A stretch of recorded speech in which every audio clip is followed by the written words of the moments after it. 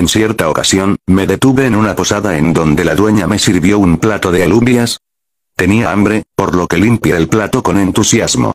Al día siguiente, la mujer me puso la misma comida y, una vez más, no dejé nada en el plato. Sin embargo, al tercer día, parece que la mujer había puesto demasiada sal en las alubias, por lo que, después de probar la primera cucharada, no pude comer más.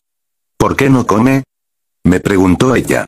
Es que comí algo hace un rato, y ahora no tengo hambre, le respondí.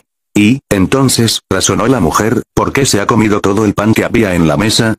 Ya entiendo lo que ha hecho, continuó antes de que yo pudiera responder. Es lo que se podría esperar de un hombre educado como usted. Ha dejado el plato de hoy como recompensa para quien le sirve, por haberle servido en los dos días anteriores. Sí, Rami, usted ha seguido las normas de etiqueta en la mesa que nos enseñaron nuestros sabios.